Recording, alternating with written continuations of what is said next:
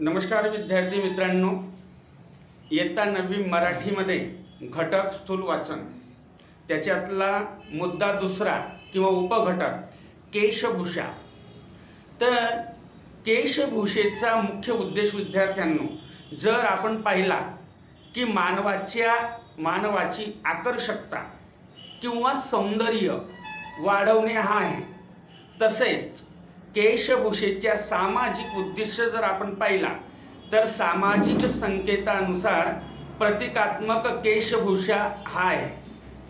तर आदिम लोक केसांना मातीचा लेप लावून आपल्या पराक्रम व गुणवैशिष्ट्य दाखवण्याकरता त्यात विजय चिन्हे व पदके लावत असत.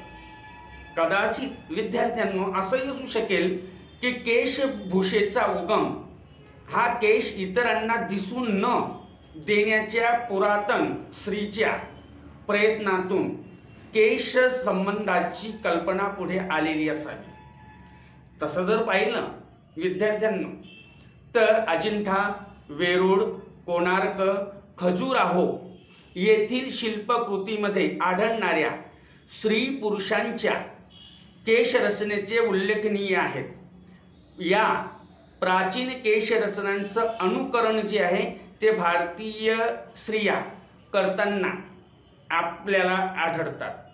विद्यार्थ्यांनो मी तुम्हाला एक उदाहरणासाठी आणि एक अभ्यासासाठी एक चार्ट देतो आहे. त्या चार्टमध्ये तुम्ही केशभूषेचा उद्देश लिहायचा आहे आणि आदिम लोक केसांच्या या गोष्टी लावतात.